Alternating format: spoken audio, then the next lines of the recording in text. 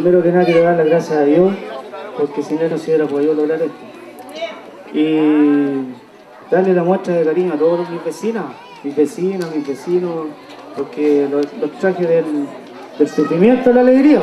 en un 2x3 y al señor alcalde también y a todas las autoridades.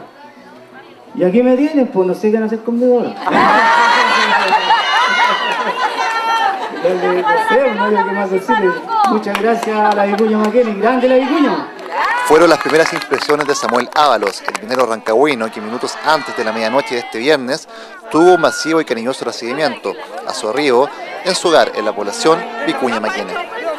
Llegó muy alegre y acompañado de su pareja Ruth Guzmán, de dos de sus tres hijos y del alcalde Eduardo Soto, quien ha estado con la familia Ábalos Guzmán durante todo este difícil proceso y la noche del viernes no fue la excepción. Enteramos de que todo estaba bien, obviamente cumplimos con nuestro compromiso.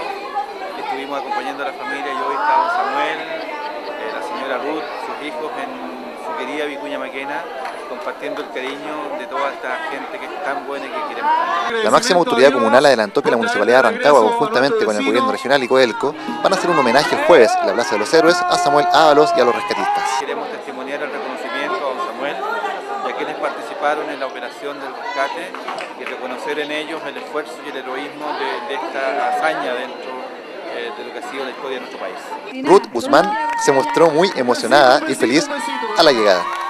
Esto, lo que pasó, hace unirse a toda la gente, a todas las familias. ¿Cachai? Gente que acá nosotros no, no conocíamos como vecinos, 15 años viviendo acá, pero ahora están todos aquí y muy felices y, y se siente el amor y la- el cariño de todos ellos. Ruth tuvo palabras de agradecimiento también para Aida Súa, presidenta de la población Vicuña Maquena, y todos los vecinos de este sector, por el emocionante recibimiento que estos tuvieron para ella, su familia y Samuel Ábalos, el minero número 22. Ok, todos los vecinos.